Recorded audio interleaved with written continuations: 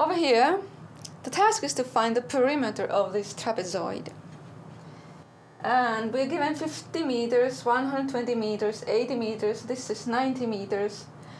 But to find the perimeter, I need to also know this and this and this, so that I can add all those side lengths together.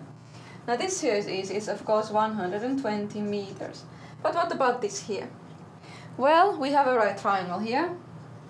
So let's let me call this x and this one y. And over here we have a right triangle too. So we just apply the Pythagorean theorem to this triangle and to this triangle to find x and y. Let's first do x. x is the hypotenuse and I have the legs of this triangle, the two sides that are at the right angle, 50 meters and 90 meters. So in the Pythagorean theorem I have 50 meters squared plus 90 meters squared equals my hypotenuse squared, x squared. And so we get 2,500 plus 8,100 equals x squared. And so we have 10,600 equals x squared. And x is therefore the square root of that, which is approximately 102.96. Okay? This one here. And then y, for y we again use the Pythagorean theorem.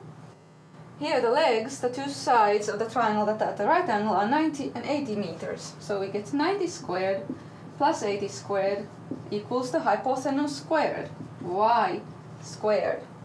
And so here you would have 8,100 and 6,400 equals your y squared.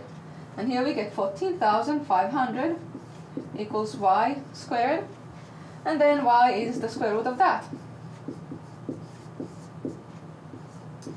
And that is approximately 120.42. Okay, well, we're not yet done.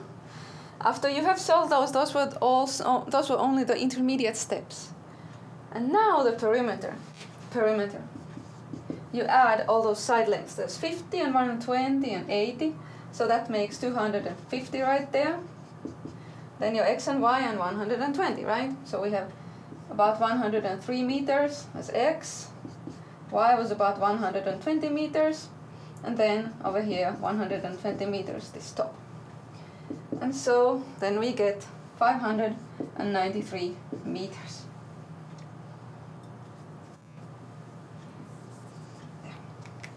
Okay, we're all done with this lesson. I hope it was helpful.